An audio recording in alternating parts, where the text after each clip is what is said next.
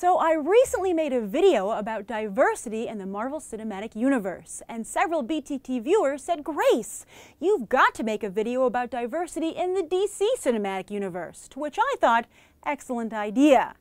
Now, of course, the post-Nolan DC Cinematic Universe is just beginning to take shape, yet already many fans are saying that attention to diversity could be its chance to shine.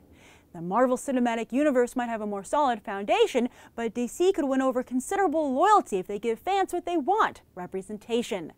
Sure, on the surface, Batman v Superman Dawn of Justice might as well be called hashtag super white people problems.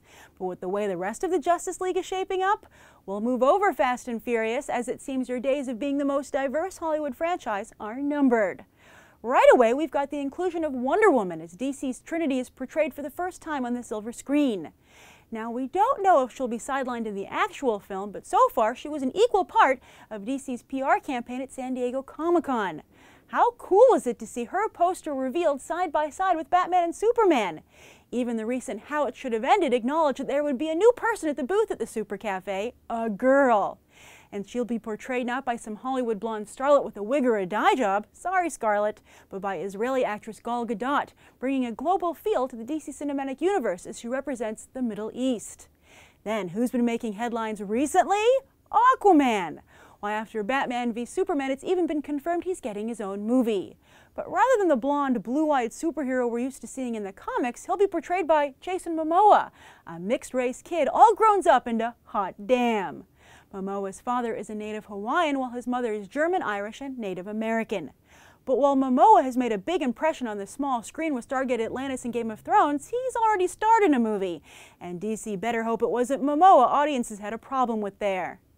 Another DC superhero who will make his big screen debut in Batman v Superman is Cyborg, who will be portrayed by theater actor Ray Fisher.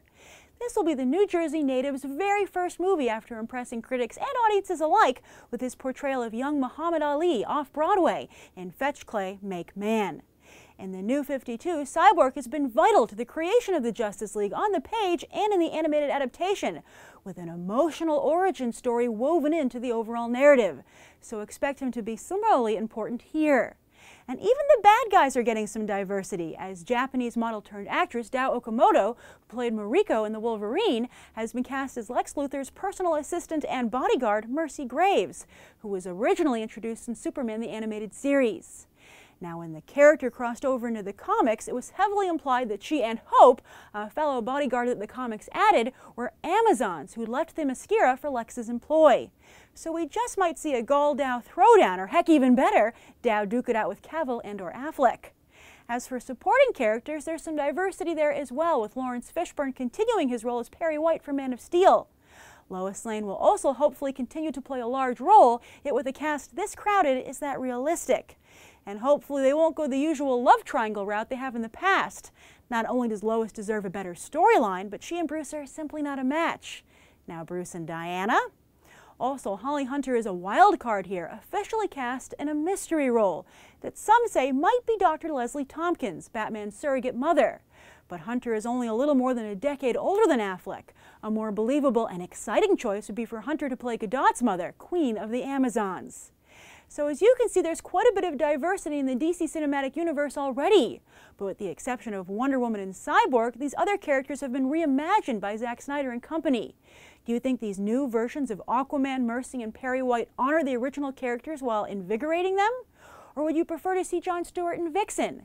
And who's doing a better job with diversity, Marvel or DC? Write your thoughts down below. I'm Grace Randolph and this has been a Movie Bite. You can watch more right now.